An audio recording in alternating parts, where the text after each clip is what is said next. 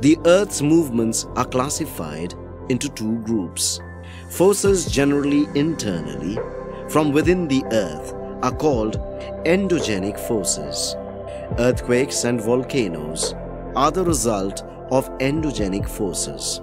Exogenic forces generated on the surface of the Earth are external forces.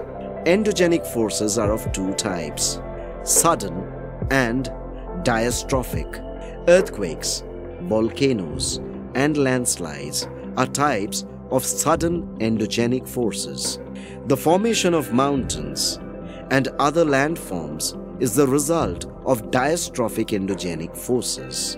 Exogenic forces includes weathering, erosional and depositional, glaciers, rivers, wind, and sea waves are agents of erosion and deposition. Join us today and transform the way you learn with Notebook.